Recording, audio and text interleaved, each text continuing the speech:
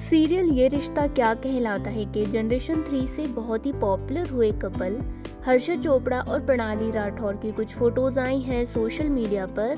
दोनों अभीरा कपल के नाम से जाने जाते हैं और जब से शो में नेक्स्ट जनरेशन लीप यानी फोर्थ लीप आया है, तब से दोनों को बहुत ही मिस कर रहे हैं व्यूवर्स दोनों का किरदार अभिमन्यु और अक्षरा बहुत ही फ़ेमस है।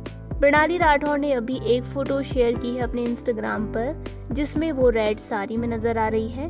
ये फ़ोटो है उनके शो ये रिश्ता क्या कहलाता है कि, और प्रणाली बहुत ही क्यूट लग रही हैं। फैंस और व्यूवर्स के साथ प्रणाली भी अपने किरदार अक्षरा को, शो के सेट को बहुत ही मिस कर रही हैं। जो इस फ़ोटो को देख लग भी गया।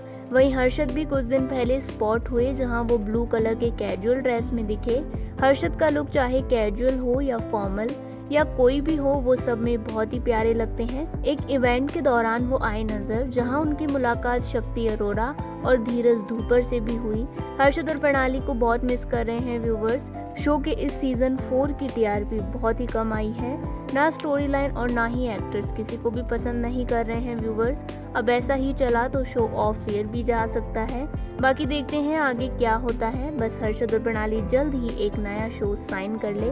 उसी का इंतज़ार है अब. वेल दोनों के अपकमिंग प्रोजेक्ट्स और शो की सीज़न फोर की स्टोरी लाइन के बारे में क्या कहना चाहेंगे आप बताएँ हमें अपनी राय कमेंट बॉक्स में and stay tune for more Thank you.